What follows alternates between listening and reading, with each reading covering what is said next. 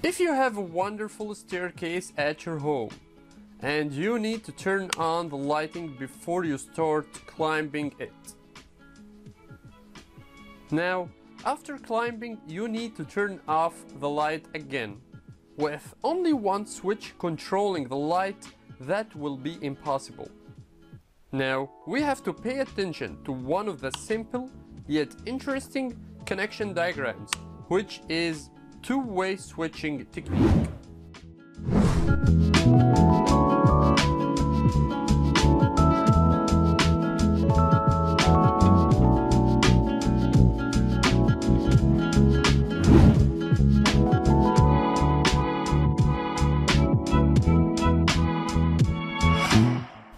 Now, all what you need to control one lamp or more with two switches is two two-way switches, a lamp or more, AC supply, and wires.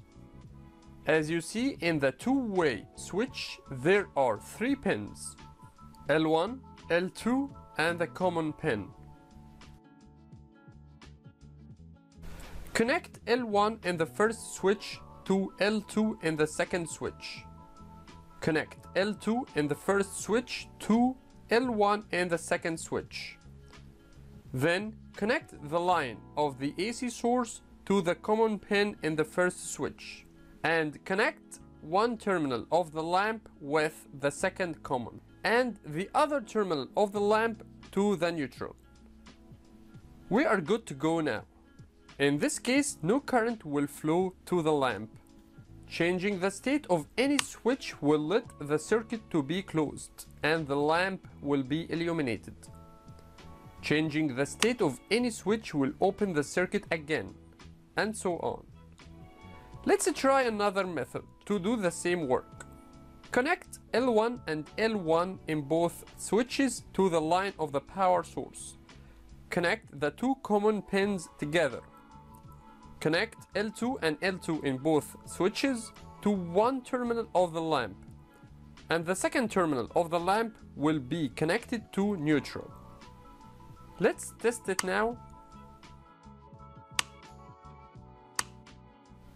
Very well, we hit the jackpot. You can search for more circuit diagrams to do the same work. Also, the resources down below will help you. Please don't forget to share, like, subscribe, and let the knowledge enlighten your world. Thanks for watching.